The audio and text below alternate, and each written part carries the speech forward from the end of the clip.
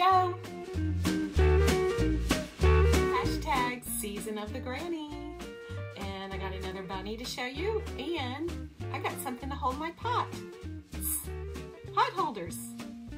okay, so it's hashtag season of the granny. Thanks to Christa with the Secret Yarnery and Glenda with um, Creative Grandma. They um, put out a little challenge or just a little fun thing for all us uh, yarny people to do was to make um, things with the granny stitch, granny squares, or anything with the granny stitch. So y'all know I had already done this granny circle that I turned into a, it's like a little baby blanket. It's a granny circle. And quite a few of you asked me um, where I got the pattern. And I just kind of Googled how to do a granny circle and and vaguely followed one that I found online. It wasn't a tutorial or anything, and I forgot who it was by. But um, I wouldn't go, I wouldn't recommend that one or use it because I had a lot of ruffling with this. So I had to do a lot of my own interpretation to get it to be more flat and, and less ruffly. But not long ago, Christa with the Secret Yarnery put out how to do a granny circle. So she has a tutorial and I'll link that down below. I have not done hers, but y'all know she's wonderful. So I will uh, link hers down below in case you'd like to try to do a granny circle. This was with Rainbow Rhapsody. It's a size one yarn from, from um, Yarn Bee, right? It's a Yarn Bee, Hobby Lobby. So this was my other granny. I don't know. I I can't remember if I showed y'all I was working on this or not. But I did another granny rectangle. See, it's a rectangle. Um, it's uh, done with the mandala cakes in this mandala by Lion Brand. Gnome. Let's put on glasses. Oh, look, y'all, I got my new glasses. Um, yeah, gnome. So this was one cake and it turned out rather small. And so I was on um, Zoom with my girlfriends one night and they were like, and I was just going to put it away and say, oh, that's going in the UFO pile because I was actually bored with doing a granny around and around and around and around. Same stitch over and over and over again. My Joe CD and my squirreliness doesn't like me to do that. but um, I just like to keep it moving, folks. Keep it moving. And they were like, no, put on a pretty um, border. And so I have some white in, I think it was Comfy Cotton or Caron Cotton Cakes in like a white. And so I was thinking, well, maybe I'll do that. And they were like, no, make it like a fluffier border to make it look like, you know, like the clouds or something with the rainbow. I'm like, that might be cute. So I had this white Bernat blanket yarn. Let me show you the right side. And I added this little border on. I think that's the wrong side, but you know, it doesn't really matter. So you can see I have these um, these big shells on the corners that I did. And these were basically single crochet, a double crochet V-stitch, and a picot on top of that.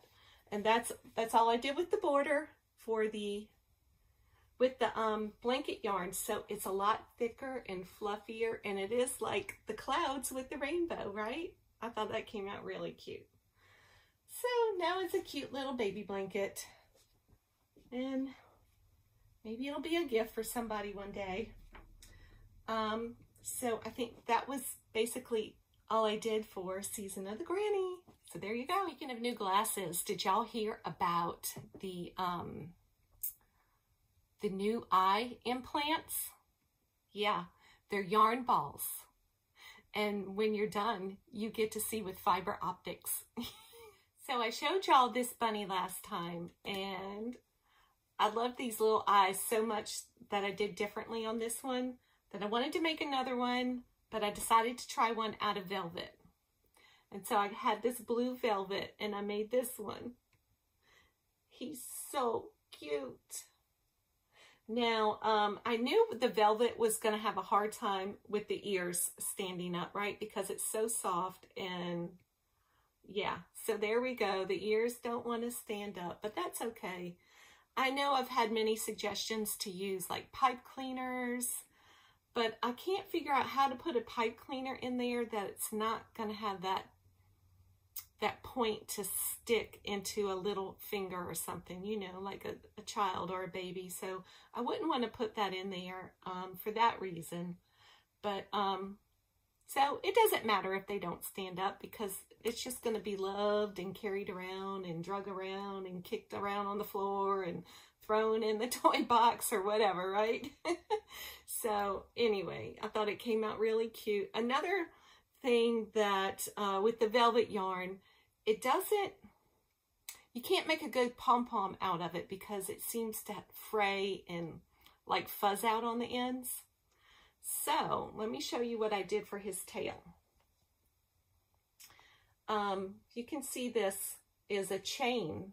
So it's just a, I chained about hmm, two and a half yards of just chain. And then I took the end and put a needle on it and I picked up like every 10 stitches. I would just pick it up. And so you scrunch all the stitches together, right? So there's 10, so it made a little loop. And that's all I did for the tail, was just made a little loopy chain tail. So I thought that came out really cute too, and that was a good idea for a tail. For yarn that you that's, you know, kind of doesn't look right as a pom-pom with the, the ends just sticking out. So here we go. Who knows if I'm going to make another bunny. They're, I don't know why they're so addicting to me. I just love these little things. So I was um, on a live, it might have been almost two weeks ago or a week and a half ago, whatever, with our friend Dana from Wanderlust Crochet and um, she was she had a live and she was teaching how to do the thermal stitch on her live. And I found it very interesting because I love to learn new things, just constantly learning, right?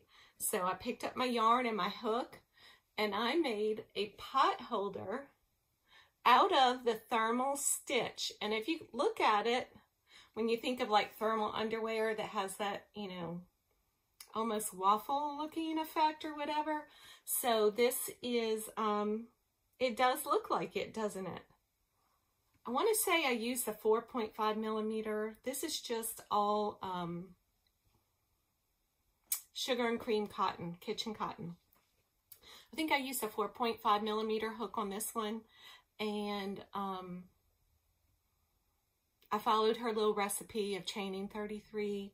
And then you go back nine stitches and you make the loop and then you continue on.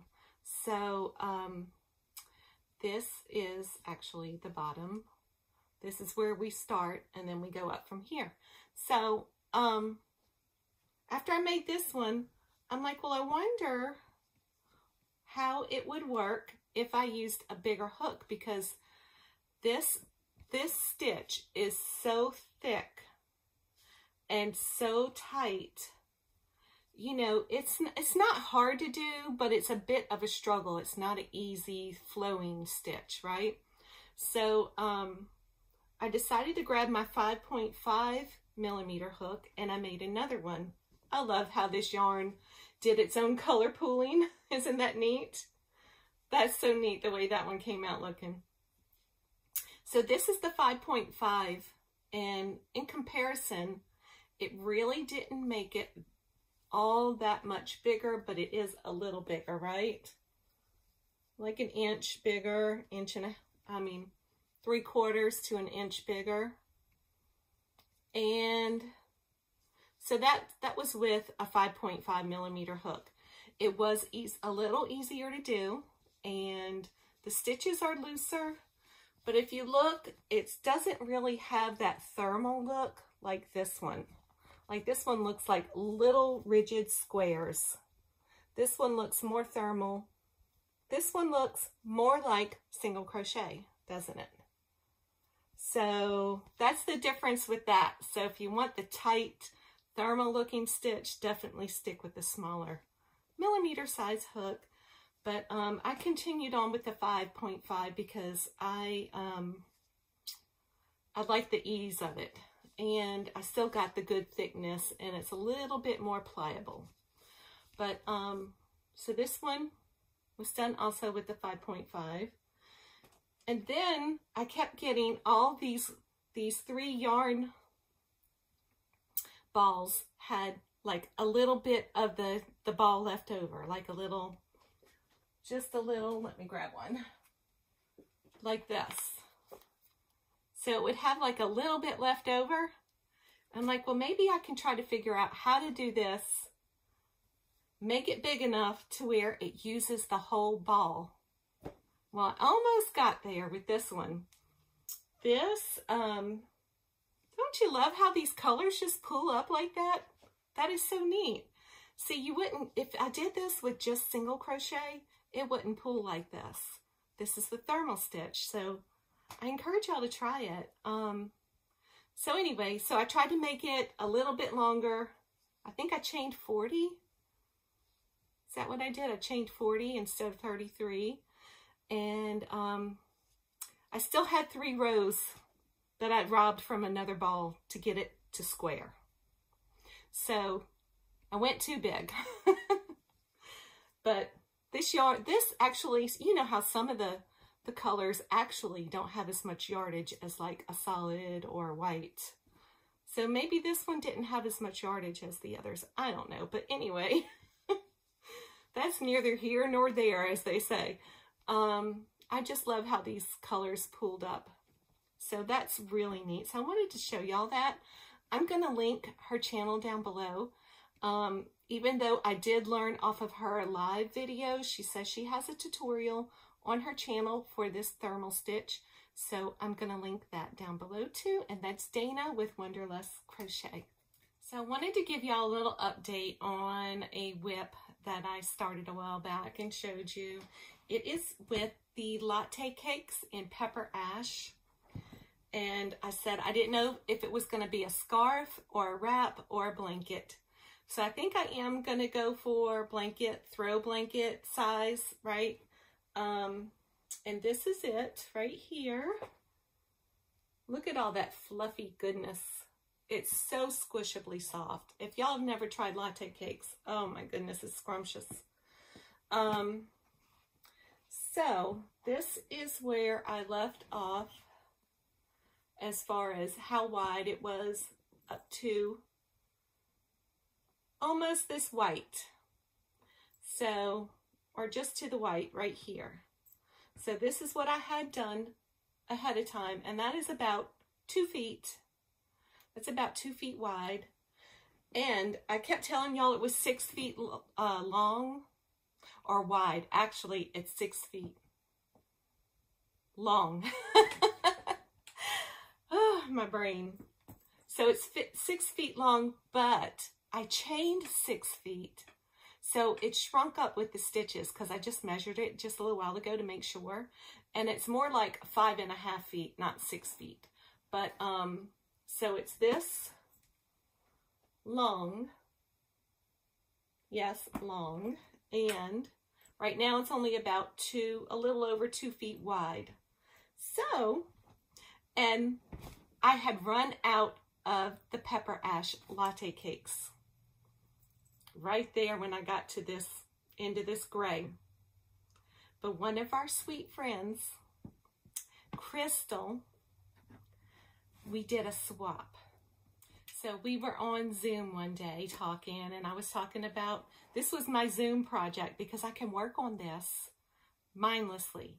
It's just an easy um, Tunisian, let me get my, my hook out here. It's an easy Tunisian blanket. It's just the knit stitch in Tunisian, and here's my Tunisian hook that I'm using with it. This is a ginger, Knitter's Pride ginger. It is an N, a size N hook. So that's what I'm uh, making this with, with the latte cakes and just the Tunisian knit stitch. So, um, anyway, so this was, this is my project when I get on Zoom with my girls that I can work on mindlessly, right? And I had run out of cakes. I thought I had more. Y'all don't see this mess down here on the floor, like bags and boxes and containers of other yarn and all kinds of stuff. And I thought for sure I had bought more of these, but I didn't. I had solids, I had the blues, I had the roasted tomato, but I did not have any more pepper ash. But um, Crystal did. So thank you, Crystal. We did a little yarn swap. I, I sent her some purple yarn because purple's her favorite color. And she sent me this. She sent me two of them. See, I'm already working on this one. But my, my Josie D had to color control, so I had to get where I left off on that one to get it back in the right order. So I will finish, this will probably be added on to the end. So I don't know how, how wide I'm to make this. I was thinking three, anywhere from three to four feet. So if I put on, put one more cake on plus this, that'll make it basically three feet wide because the, um, the two cakes already made it two feet wide, right? So three, three by five and a half might be a good size for a throw blanket. But if I want to continue on, I could add another another foot length or width on it and make it four by five and a half and that'll be really scrumptious size right? So we'll see. We'll see how long I just keep going with it. Um, it is a great mindless project and I encourage you all to try Tunisian. It's a lot of fun and um, get beautiful results but y'all Crystal did not just send me the latte cakes that I needed Look at this pretty box she sent them in. Pretty uh, box. I'll have to save that. Maybe repurpose and regift it with to someone else. But um, she sent me some extras. Sweet thing. This is um, this is my first yarn from Hobbii. So I'm excited to try this. It's called Lollipop. Lollipop, lollipop. Oh, lolly, lolly, lolly, lollipop. Boom, boom, boom. Okay, I know y'all don't want to hear me sing. Um, it's a 200 gram ball, and um, let's get the glasses. We need some eyeballs to read this. it's a size 4, and um, designed in Scandinavia, made in Turkey. Oh, that's cool. So anyway, she sent me two balls of this. Wasn't that so sweet? So very sweet. Um, yes, they are matching. You can see the teals in there too. And here it is right here. So thank you, Crystal. That was very sweet. Oh, look at the, even the tissue paper she had it wrapped on, wrapped up in was adorable.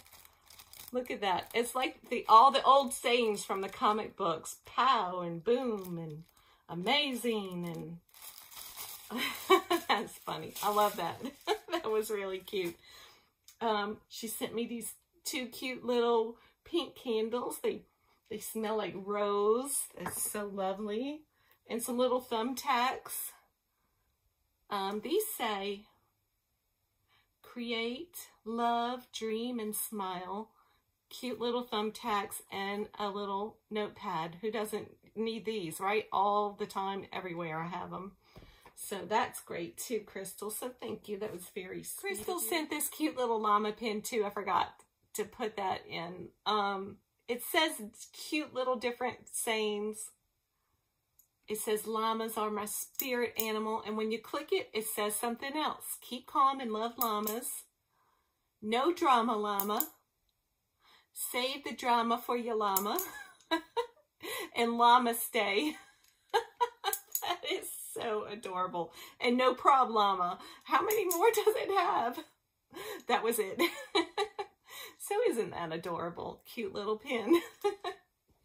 so y'all, Crystal's been feeling a little under the weather lately. So let's keep her in our thoughts and prayers. And, um, oh, the name of her channel is Coffee, Crochet, and Cuddles. And I'll link her down below too. So speaking of Zoom also, there's a few of us on our regular chats that are um, going to be doing a project together by Hooked by Sunshine, Hooked on Sunshine. I'll get the link and put it down below because I haven't actually looked at the pattern yet. But we're going to be doing a blanket called the Phoenix. And um, we're, we're not starting it just yet, but it's coming up. So if any of you want to join in, please do. Um, I'm doing a, a project right now out of this book, Unicorns and Dragons. I'm doing the baby phoenix. so cute, so cute. So this is just a whip right now. It's, you know, I've got, I've got the head. I've got um, the beak. I've got two little feet. And um, here's the little, the little crest that goes on top of its head like that. And um, I've started a wing. So I've got some wing pieces. And yeah, that's about it. That's about all I've got done on it so far. So here it is again. That's what it's going to look like.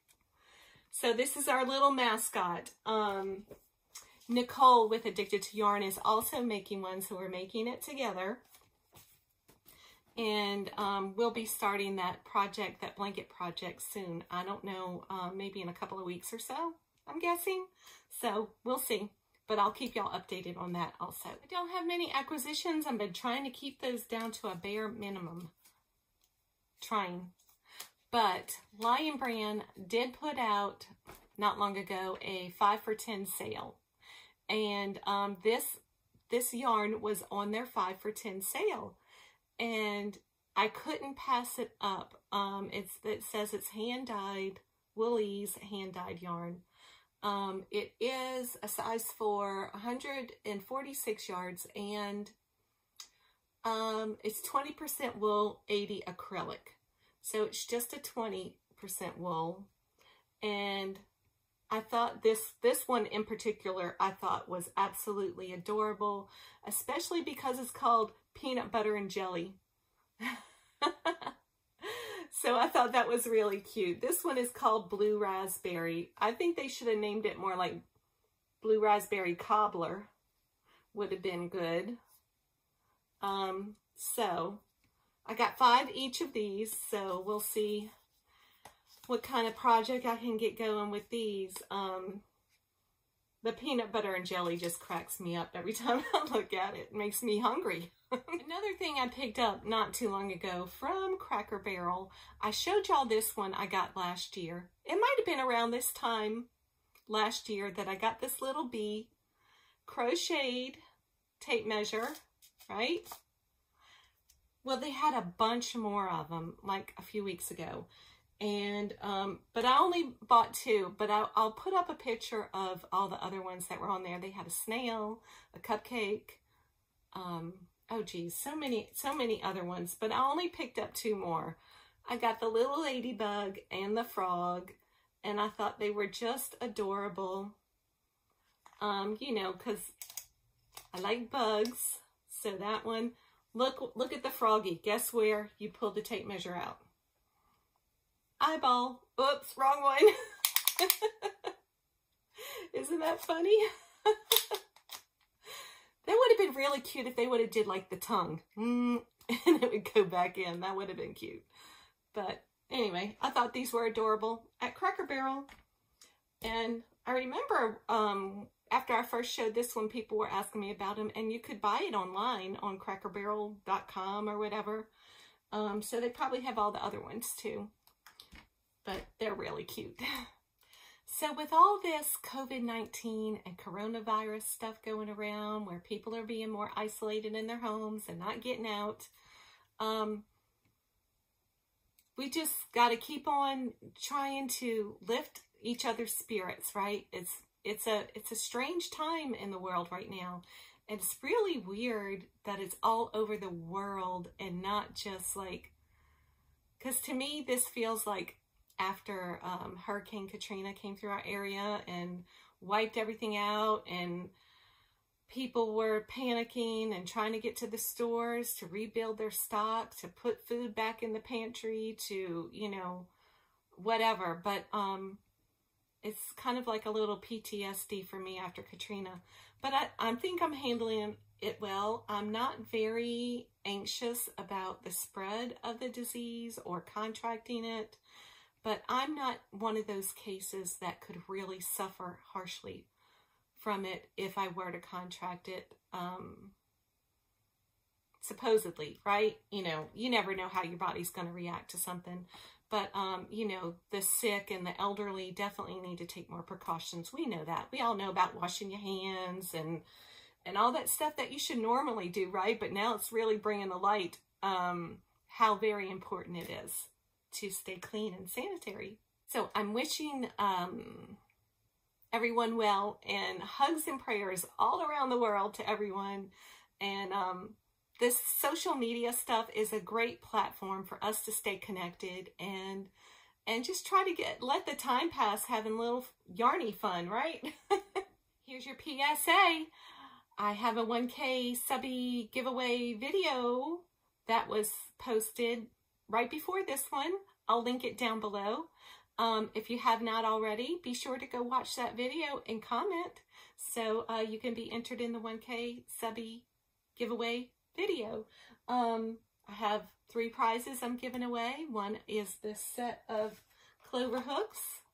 And then I have a whole basket of blue yarn that you can use to make hashtag hats, hat not hate.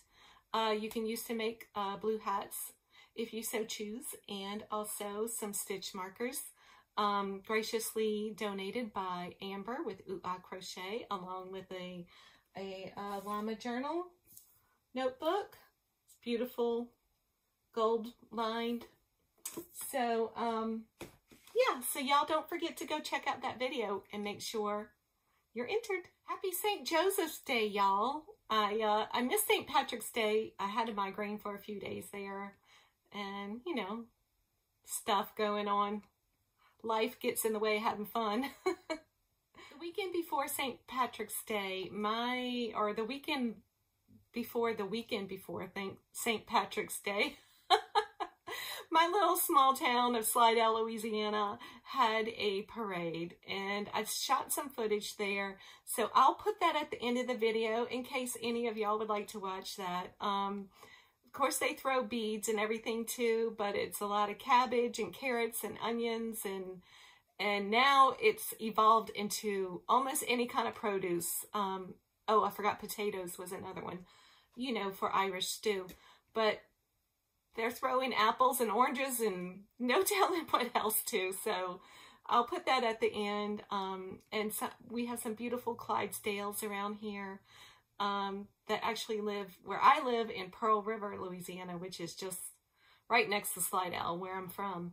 But um, that's where they live, the Honey Island Clydesdales. So I got some little footage of them at the parade also and um, I'll put that at the end in case anybody would like to watch that.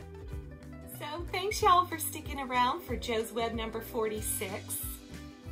And be kind and be blessed. And I'll see y'all next time. Bye! Laissez le bon temps rouler. Let the parade roll.